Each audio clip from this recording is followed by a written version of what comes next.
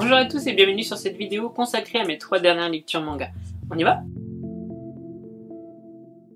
Dans ces trois lectures manga, il y aura une lecture que j'ai faite en espagnol. Je vais vous expliquer pourquoi. Je commence avec le manga en espagnol. Il s'agit de Killing Stalking de Kugi, édité chez Milky Way Ediciones, qui se trouve juste ici. Donc c'est un manga tout en couleur que je vais vous montrer.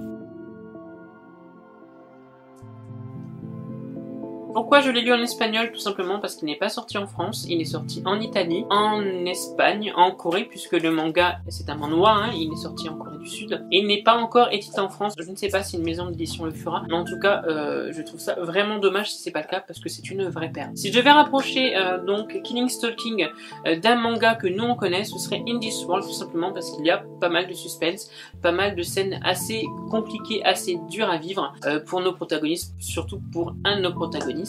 Je vous raconte donc le résumé. Il s'agit de, de, Boon Yoon qui se trouve juste ici, et qui est amoureux de Sang-woo qui se trouve juste là. Une personne qu'il a rencontrée donc dans son lycée, qu'il va suivre jusqu'à ses stages militaires, puisqu'en Corée du Sud, il y a le service militaire pendant un ou deux ans. Donc Boon Yoon est assez obsédé hein, par Sang-woo, c'est-à-dire qu'il va jusqu'à même essayer de pénétrer chez lui en fait, hein, pour se rapprocher de ses affaires, pour euh, sentir son livre. Ce qu'il va par contre découvrir lorsqu'il rentre donc chez Sang-woo euh, va lui glacer le sang puisqu'il n'est pas ou plus la personne qu'il a connue. Il est tout simplement une autre personne violente qui va le séquestrer, qui va le torturer. Je vous en dis pas plus, je ne vous dis pas euh, les personnages qui vont rentrer en jeu et je ne vous en raconte euh, pas davantage, tout simplement parce que ça spoil très vite et à la fin de ce tome 1, on est vraiment sur un suspense de gudin, franchement. Je vous le conseille à ne pas mettre entre toutes les mains, insensible s'abstenir et je pense que ce manga devrait être interdit, même si ce n'est pas noté, au moins de 16 ans parce qu'il a quand même des scènes particulièrement compliquées. Mais si vous, vous aimez tout ce qui est un peu violent, et que le yaoi ne vous rebute pas et que vous n'allez pas faire de cauchemar la nuit, moi je vous conseille. Le tome que je vais vous présenter tout de suite, je vais le faire très brièvement puisqu'il n'y a pas grand chose à raconter, si ce n'est que c'est encore un coup de cœur. Il s'agit du tome 2 de Blue Flag, euh, paru aux éditions euh, Kurokawa. Je vous montre vite fait les dessins.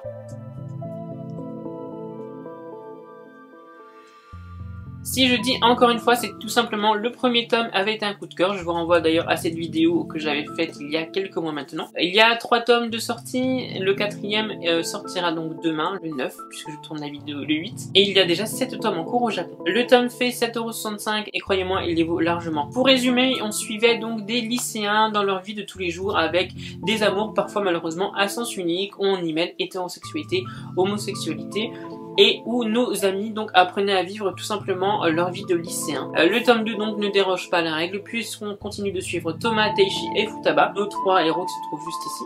Avec donc l'ami de celle-ci, donc j'ai complètement oublié le nom, malheureusement ça me le rappelle pas. On continue de les suivre donc dans leur amour tout simplement, dans leur amitié, et je ne peux pas vous en dire plus puisque c'est un manga tranche de vie donc c'est une euh, continuité du tome Par contre, la fin de ce tome 2 nous donne envie de lire très rapidement le tome 3 qui se trouve juste ici, mais que je n'ai malheureusement pas encore lu.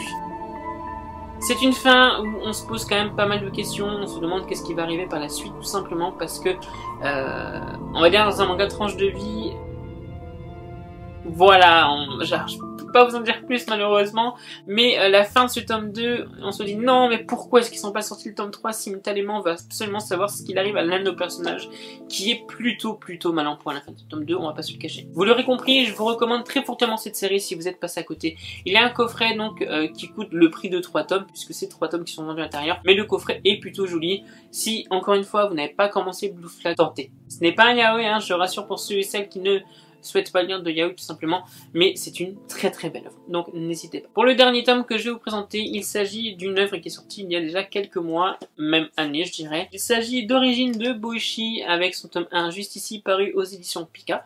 Il y a déjà 7 tomes de paru. Pour ceux qui euh, se disent que les dessins rappellent quelque chose, oui, il rappelle Dr Stone qui est également une œuvre de Boshi et un autre manga donc malheureusement j'ai oublié le nom mais qui est très très très très connu. Et il coûte un prix il me semble de 7 euros quelque chose mais bon on va passer hein. Euh, ça reste le prix d'un manga normal rassurez-vous. Je montre les dessins pour ceux qui ne connaissent pas encore Boshi même si je sais que vous êtes très peu. De quoi nous parle donc euh, ce, cet excellent manga, puisque ça a vraiment été un excellent manga.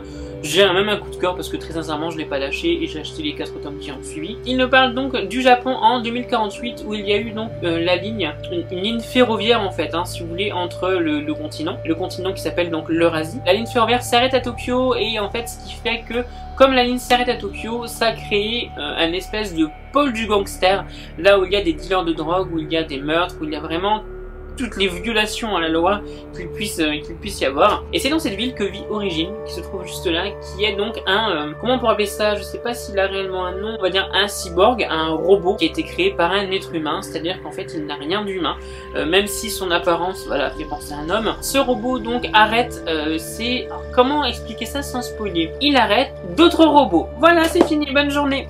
Non, il arrête d'autres robots semblables à lui, c'est-à-dire que des comme lui, des modèles comme lui, il n'en existe que très peu et ils ne sont pas en soi agressifs. S'ils sont agressifs, c'est parce qu'ils sont motivés par quelqu'un ou par quelque chose. Et dans le cas d'origine, il se doit d'arrêter euh, des autres robots sans montrer aux humains qu'il existe. Puisque les humains, effectivement, sont très furieux de technologie, c'est un monde futuriste il y a énormément de technologie, énormément de robots. Par contre, dès comme lui, ce serait compliqué à gérer et il lui arriverait pas mal de bricoles. Je vous en dis pas plus, mais vraiment, si vous aimez l'univers euh, des robots, si vous aimez le dessin de Boshi, foncez parce que c'est vraiment un excellent homme. Boshi en lui-même est un excellent dessinateur et un excellent scénariste.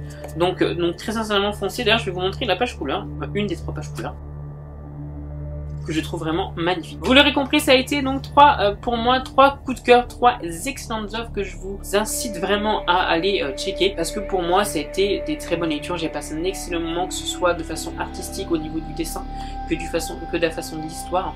J'ai vraiment adoré ce que j'ai lu et je ne peux que vous les conseiller. On se retrouvera très vite pour une prochaine vidéo. J'espère que vous vous portez bien et moi je vous dis à très bientôt.